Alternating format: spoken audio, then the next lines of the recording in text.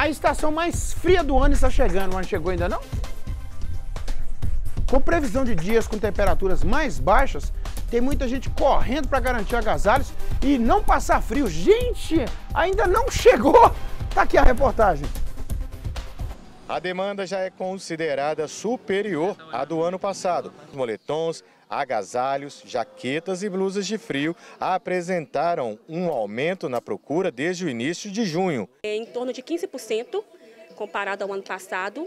É, temos a procura muito grande, né? Em linhas masculina, feminina, dentre casaco, calça moletom, agora também o xadrez, blusa, blusa cacharel. Prestes a entrar no inverno, que começa na próxima quarta-feira, dia 21, a procura por cobertores e mantas eleva o faturamento na estação de temperaturas amenas. Nessa época do ano, a nossa venda ela aumenta muito, né? A demanda ela aumenta muito devido a esse período. Tem um, uma venda muito boa, até mesmo para doação. Muitas pessoas compram para doar, entendeu?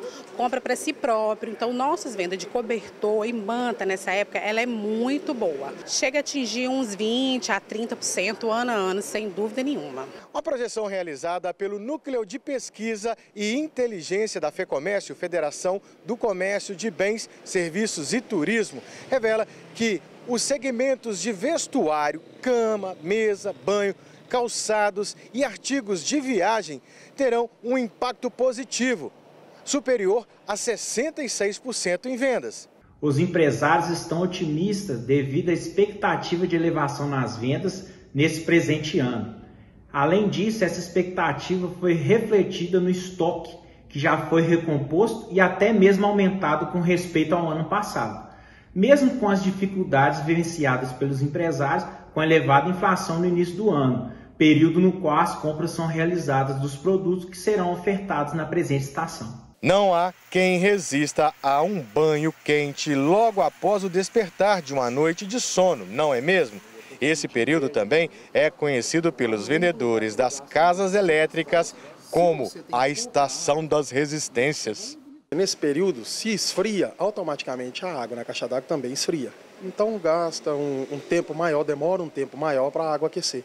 Como nós não temos tempo, a gente está sempre com pressa, então você coloca o mínimo de água possível para sair no chuveiro e a resistência no máximo. E a resistência nada mais é do que um aquecimento do metal, ele fica incandescente. Se não tem água, ele vai queimar. O metal vai se partir, ou seja, você vai ficar sem sua resistência e sem seu banho quente. A dica então é tomar um banho mais cedo.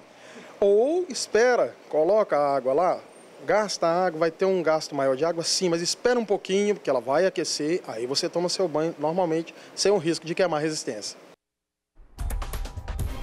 Aí, tá frio, né?